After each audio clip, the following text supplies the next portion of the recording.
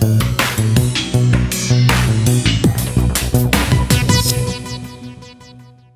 Witam Państwa bardzo serdecznie na dzisiejszym spotkaniu z mediami. Bardzo się cieszę, że przyjęliście Państwo nasze zaproszenie. E, Jak widzicie e, Państwo dzisiaj zdecydowanie e, żeńska część naszej ekipy Koalicji Obywatelskiej. Jak Państwo wiecie, w Polsce odbywają się takie spotkania w ramach hasła Kobiety na wybory. Ja dzisiaj się czuję jak rzeczywiście ten błogosławiony między niewiastami, ale, ale dobrze mi w tej roli. Natomiast pozwolicie Państwo, że dzisiaj tą główną część konferencji właśnie będą realizowały nasze kandydatki. Ja chcę tylko powiedzieć, że 50% naszych kandydatów to właśnie kandydatki, to kobiety. Cieszymy się, bo to wyróżnia nas na tle innych ugrupowań. I żeby nie przedłużać, oddam głos naszej dwójce, liderce naszej listy, jeżeli chodzi o kobiety, pani poseł Karolina Pawliczak. Bardzo proszę, pani poseł. Dziękuję bardzo serdecznie, dziękuję za zaproszenie. Witam Państwa i tak, to prawda, w wielu miastach w naszym okręgu i nie tylko w naszym okręgu odbywają się spotkania właśnie z kobietami. Dlaczego z kobietami, Szanowni Państwo? Bo głos kobiet będzie szczególnie ważny, istotny i słyszalny i w tej kampanii wyborczej, ale również w czasie wyborów. To będzie głos decydujący w naszej ocenie, dlatego też spotykamy się w różnych miejscach po to, żeby zachęcić kobiety, aby oddały swój głos, aby poszły na wybory. Szczególnie zależy nam oczywiście na tych osobach niezdecydowanych, bo jest to znakomita też grupa osób, grupa kobiet w tym, która no, mam nadzieję, że odda i głęboko w to wierzę głos na naszą listę, na listę Koalicji Obywatelskiej.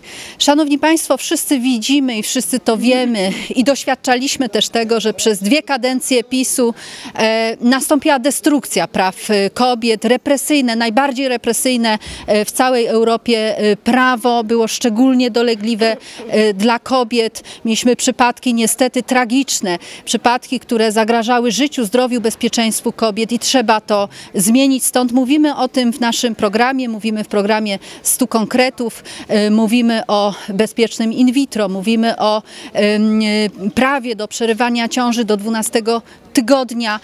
Mówimy o opiece okołoporodowej, tak bardzo ważnej i istotnej w czasie porodu i przed porodem. Mówimy o bezpłatnym znieczuleniu bo to też jest bardzo istotne w czasie porodu i wiele innych aspektów dotyczących bezpośrednio kobiet.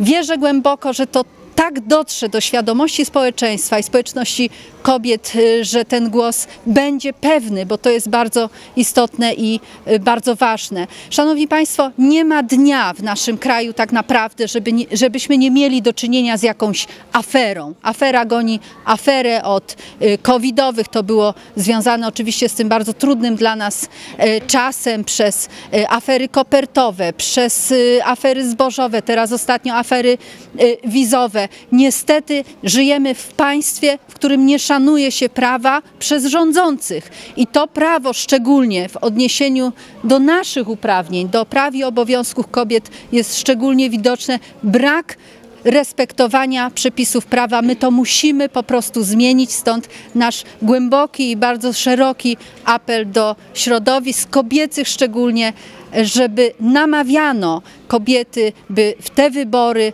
ten głos oddały na koalicję obywatelską, by oddały na, swój głos na tych ludzi, którzy będą prawa kobiet szanować, respektować i będziemy tych praw bronić i chronić. Proszę Państwa, bardzo energetyczna kandydatka z Leszna, Adrianna Machowiak. Dzień dobry Państwu. Drogie panie, drogie kobiety, dziewczyny, spotkaliśmy się tutaj dlatego, że sprawa jest wielkiej wagi.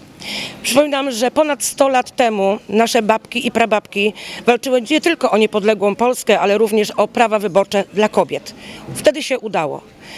Dowiaduje się, że 30% nie chce skorzystać, kobiet oczywiście, nie chce skorzystać z tych praw. Jest to bardzo przykre. Drogie panie, mamy na listach Koalicji Obywatelskiej naprawdę wartościowe kandydatki, ale mamy również program Koalicji Obywatelskiej skierowany ku kobietom. Wcześniej nasza dwójeczka powiedziała o niektórych sprawach, ja chciałabym jeszcze dodać, muszą być gabinety ginekologiczne bez klauzuli sumienia, żeby każda kobieta, bez względu na swój światopogląd, znalazła tam swoje miejsce i pomoc. Y, żłobki żłobki w, w gminach muszą być budowane, bo doskonale wiemy, że nasze mamy, y, dla każdej na, z naszej mam jest y, wa, y, bardzo ważne bezpieczeństwo i dobra opieka dzieci. Dla przedsiębiorczyń mamy faktura, mm, znaczy podatek dochodowy dopiero po zapłaconej fakturze, czy obniżenie podatku do 8% dla strefy beauty. Ale chciałbym jeszcze tylko powiedzieć, że nie wiem czy wiecie, ale 107 kobiet przypada na 100 mężczyzn. Dziewczyny, to my jest, bierzemy historię teraz w swoje ręce. To my wygramy te wybory. To od was zależy, czy chcecie żyć w Polsce nowoczesnej, czy światopoglądowej. Nie wiem, czy słyszeliście, jak niektórzy kandydaci i posłowie wypowiadają się na nas. Mówią, że jesteśmy bezwartościowymi obywatelkami tego kraju. To jest nieprawda, ja się z tym totalnie nie zgadzam. Jesteśmy wartościowe, mamy w końcu decydować o sobie i to wy musicie podjąć tą decyzję. Przypomnę tylko, że na strajkach kobiet tysiące gardeł ze, współ ze mną, nie tylko w Lesznie, ale w całej Polsce krzyczało hasło myślę, czuję, decyduję. Proszę was bardzo, przemyślcie, proszę was bardzo, poczujcie to, że możecie żyć w lepszej Polsce. I proszę was bardzo, zdecydujcie.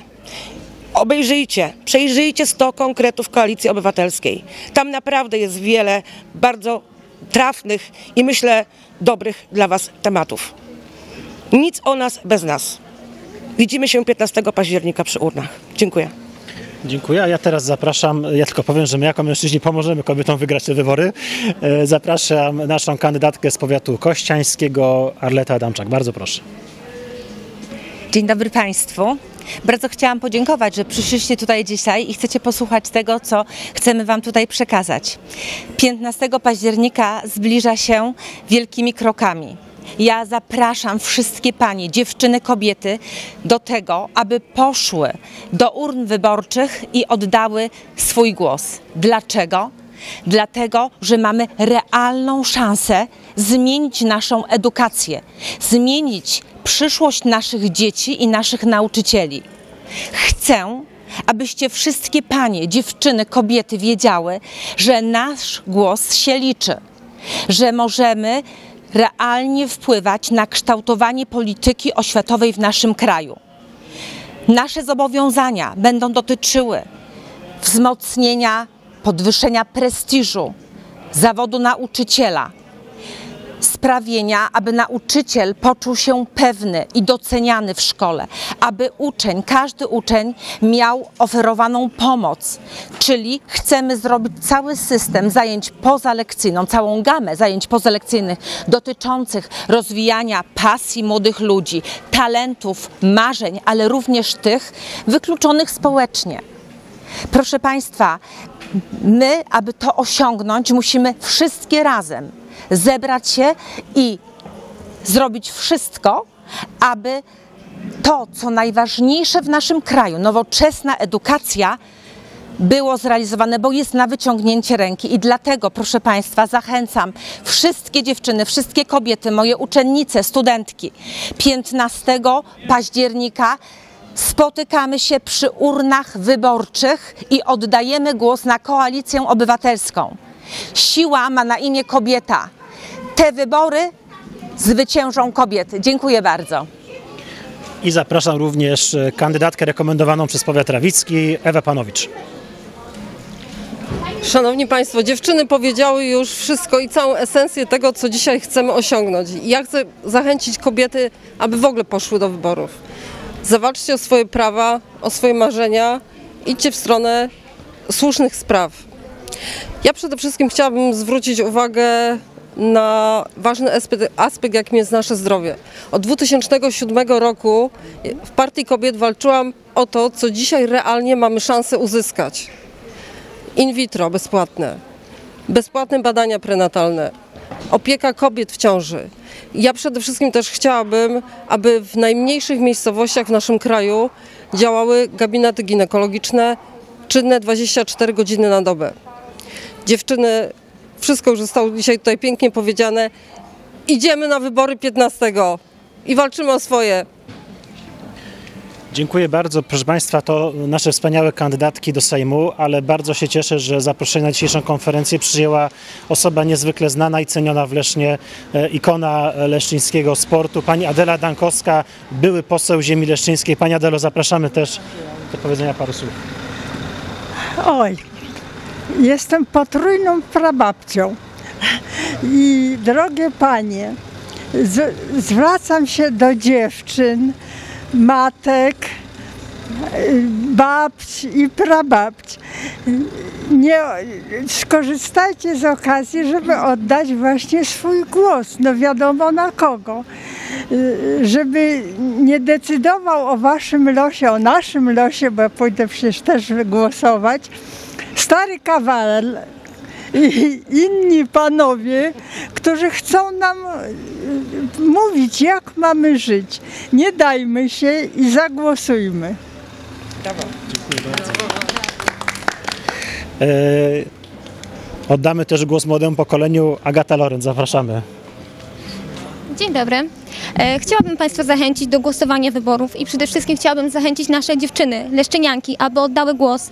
Także kobiety, które dopiero ukończyły szkołę, bo to ich zdanie w tym momencie najbardziej się liczy. Bardzo Państwu dziękuję i zachęcam do głosowania na Koalicję Obywatelską. Dziękuję.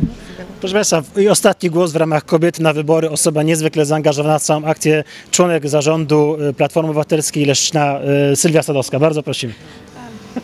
E, Dzień dobry. Ja tutaj nic odkrywczego pewnie nie powiem, ale e, pojawiają się ze stron kobiet e, takie, e, takie zdania, takie obawy, że po pierwsze polityka jest brudna. To, co widzicie, te przepychanki, to jest tylko wierzchołek góry lodowej. Polityka to jest stanowienie prawa e, i bardzo ważne jest to zdanie, że jeżeli się nie interesujesz polityką, to polityka zainteresuje się tobie. To politycy stanowią prawo, stanowią e, kanwę, tworzą środowisko, w którym żyjemy. Więc my musimy wybrać takich polityków, którzy nam stworzą odpowiednie dla nas środowisko. E, Kobiety mówią, nie mam czasu głosowa- na głosowanie. Głosowanie to jest kilkanaście minut, a przez te kilkanaście minut, które może poświęcimy tej niedzieli będziemy mieć efekty tego przez następne kilka bądź kilkanaście lat. E, I e, tu nawiążę do e, wypowiedzi poprzedniczek e, i szczególnie do młodych e, osób powiem. Ja mam szansę na synowe, więc to jest dla mnie bardzo, bardzo ważne. Odpowiedzcie sobie na pytanie, dziewczyny, czy chcecie mieć dostęp do rzetelnej edukacji seksualnej, do dostęp, dostęp do antykoncepcji, czy chcecie mieć e, klauzulę sumienia i prokuratora bądź księdza, który będzie wam ustawiał, czy chcecie być, e, chcecie być dodatkiem do mężczyzny. E, jak chcecie żyć? Odpowiedzcie sobie same i jeżeli odpowiecie zgodnie z waszym rozumem, bo jesteśmy mądrymi dziewczynami, do 15 października widzimy się i głosujecie na opozycję. Zapraszam, do, do zobaczenia. E, Proszę Państwa, i oczywiście e, czeka nas bardzo ważne wydarzenie 1 października, ale o tym już więcej radna miasta Leszna Barbara Mroczkowska. Drogie kobiety, dziewczyny, zabierajcie swoich mężczyzn i 1 października wszyscy spotykamy się na Marszu Miliona Serc w Warszawie. Do piątku y, zapisywać się możemy w biurze poselskim. Wydaje mi się, że jest to jedyne takie wydarzenie, które powinna każda zabrać swojego partnera, swojego syna, swojego męża i się zjawić w Warszawie. Chcę Wam powiedzieć, że jest to wydarzenie niesamowite. Jest to wydarzenie, które uskrzydla, wzrusza, a my przecież idziemy i walczyć o swoje. Więc liczymy na frekwencję. Już jest bardzo, bardzo dużo zgłoszeń. Brakuje nam naprawdę parę dziesiąt, y, y, bym powiedziała, jeszcze miejsc i liczę, że nasze leszczyńskie kobiety zabiorą swoich mężczyzn i spotykamy się w Warszawie.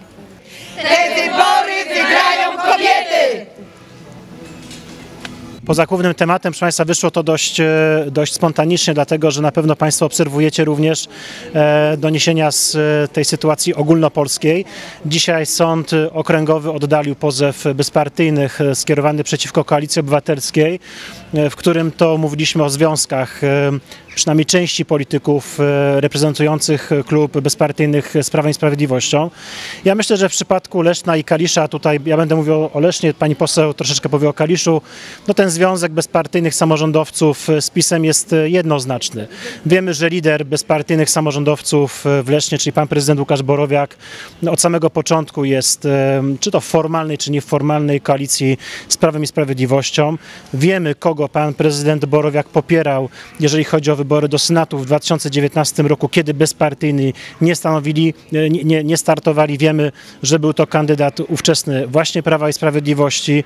E, Wiemy, z kim pan prezydent Borowiak w końcu zdecydował się wchodzić w koalicję po 2018 roku. Wiemy, że jest to dalej Prawo i Sprawiedliwość, mimo że, chcę to powiedzieć w pełni odpowiedzialnie, po przegranych moich osobiście wyborach prezydenckich z panem prezydentem Borowiaką, ale wygranymi wyborami do Rady Miasta, zaproponowałem panu prezydentowi taką koalicję e, PL18 i Platformy Obywatelskiej. Mielibyśmy wtedy na tamten czas 18 mandatów. Pan prezydent Borowiak wybrał koalicję z Prawem i Sprawiedliwością. Więc e, po której stronie, w jaki sposób kojarzeni są, czy są przybudówką, czy nie, to myślę, że to jest e, odpowiedź na to pytanie, zostawiam mieszkańcom Leszna. Natomiast związki z Prawem i Sprawiedliwością są e, ewidentne.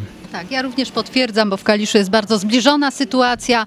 E, Szanowni Państwo, w Kaliszu również jest nieformalna, bo nie spisana e, w trybie jakiegoś formalnego dokumentu, ale jednak koalicja, mimo że z PiSem, mimo że, e, mimo że oczywiście inne formacje również taką koalicję mogłyby zawrzeć, to jednak to jest dowód na to, że to rozstrzygnięcie, co prawda w pierwszej instancji, ale absolutnie potwierdza rzeczywistość, że bezpartyjni samorządowcy tak naprawdę są ukrytą formą w przyszłej współpracy e, z PiSem e, i dobrze, że ta prawda e, ukazała się i, i pokazała w światło dzienne, bo tak naprawdę e, to też może na przyszłość pokazywać przyszłą koalicję, czy też e, w przyszłych wyborach samorządowych ta opcja z PiSem będzie współpracować. Chcemy to bardzo wyraźnie dzisiaj podkreślić, bo to się dzieje nie tylko w Lesznie, nie tylko w Kaliszu, ale również w całej Polsce.